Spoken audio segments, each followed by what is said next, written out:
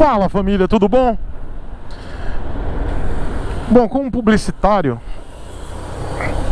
eu vou aqui nesse vídeo relatar, ao meu ver, alguns erros de, de estratégia das marcas, né, das montadoras, dos fabricantes aqui no Brasil. Vários erros estratégicos, e aí eu tô falando com toda a tranquilidade que me cabe, porque sou profissional da área além de profissional da área, eu sou consumidor. Então eu tenho, além do direito de, de dar a minha opinião, eu tenho uma visão também um pouco mais técnica do que está pegando. E aí eu vou falar sobre o primeiro, assim, um dos, eu não vou citar vários aqui, mas eu vou citar alguns perceptíveis. Primeiro de todos, assim, que eu quero deixar aqui minha minha observação de erro estratégico é da Dafra. A Dafra lançou recentemente a excelente NH190. Lançou num evento em São Paulo e esqueceu de dizer a data de lançamento oficial, né? Lançamento oficial não, mas a data que a moto estará nas concessionárias e também esqueceu de falar o preço. E aí, galera, fica difícil você tentar é, reajustar a, a marca, né? Que está precisando desse reajuste de confiabilidade com o cliente. Eu, como produtor de conteúdo, eu e, e, gosto da galera da Dafra, gosto dos produtos Dafra, tenho um produto Dafra aqui, eu estou pilotando agora nesse momento uma Dafra Citicon 300i e sou um dos entusiastas. Não sou patrocinado pela Dafra, Uh, mas sou um dos entusiastas que quero ver a Dafra é, no topo de novo, não digo no, no primeiro lugar, mas entre grandes players do mercado, para que assim ela traga novas motocicletas, motos da Sim, motos da da da TVS e a gente ganha, porque são motos excelentes. Mas esses erros estratégicos da Dafra e esse erro estratégico, principalmente da NH, foi foi muita bobeira, sabe? Achei muita bobeira. Porque você lança uma excelente moto, uma moto que gerou um buzz incrível, e aí buzz no, no, no termo técnico é, é o, o, o buchicho, né? O, gerou a, os comentários gerais, generalizados, todo mundo falando, gente criticando, gente falando bem, falando mal. É, e isso é bom. E muita gente curiosa para saber preço e data que a, a moto vai estar disponibilizada na concessionária para venda. Por que, galera? É importante saber disso. Porque é verão, tá chegando o verão. Eu tô gravando esse vídeo em setembro de 2019 e a galera agora vai começar a comprar moto, agora que o mercado de motocicleta vai, vai reaquecer. Por quê? Termina o período de chuva no, no Nordeste, termina o período de frio no Sul, Sudeste, né? No Norte, eu acho que começa o período de chuvas. Aí eu, realmente o pessoal do norte, por favor, me corrija se eu estiver errado. Mas começa a reaquecer o mercado de motocicletas. Final de ano é assim. Além disso, calma, meu irmão, não faz isso não. Ah não, tio.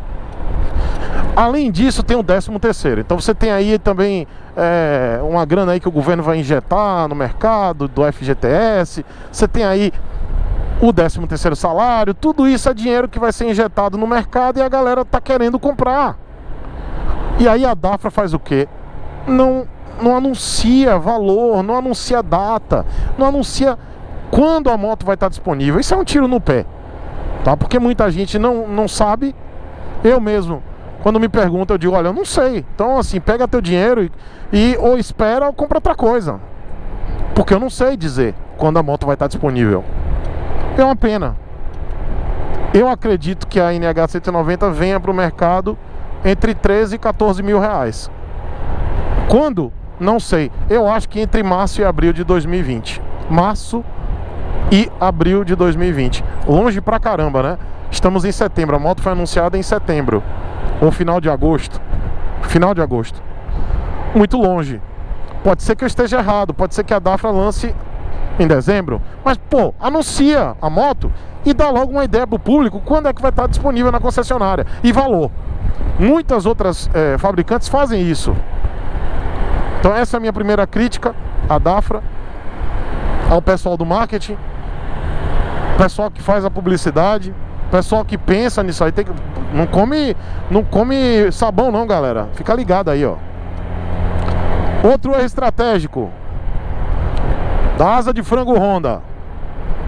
Traz pra cá uma moto absurdamente cara, uma scooter, né? De nicho, que é a XADV. E aí eu não tô falando de qualidade de moto, ok? Eu tô falando de custo, tô falando de estratégia, tá? Todas as motos que eu citar aqui são excelentes, ok? Aí a asa de frango traz a XADV, uma moto de nicho, e que em alguns lugares está por 60 mil reais numa scooter. Tudo bem, a moto é incrível, tem motor de, da NC 750, a moto é absurdamente robusta, é para todo tipo de terreno, mas ela não deixa de ser uma scooter, ok? Ela não deixa de ser uma scooter. E ela tem preço de Big Trail. Peraí, galera. Ô Honda, que é isso? Tá doida? Pirou? E aí você traz uma XADV por 60 paus, mas mantém a NC750X como ela é em 2019, traz a 2020 só mudando cor e grafismo, pelo amor. Ao invés de ter trazido a NC750 europeia com câmbio com câmbio duplo, de dupla embreagem, o câmbio DCT. E é uma moto com controle de tração em dois níveis, câmbio com três modalidades, manual e dois automáticos. Peraí, aí você mantém em 2020 a mesma NC 750 X? Pelo amor! Não tem, não tem nexo isso. Não, não, não entendo essa estratégia da asa de frango. Traz uma moto de 60 paus de nicho que poucas pessoas vão comprar. Né? Poucas pessoas vão comprar. Só entusiastas de scooter vão querer comprar essa moto. Uma moto de pre... uma scooter com preço de de Big Trail e deixa de trazer uma uma crossover legítima com mais tecnologia embarcada, ou seja, trazer uma, um aperfeiçoamento para uma crossover que é muito bem quista no line-up da Honda.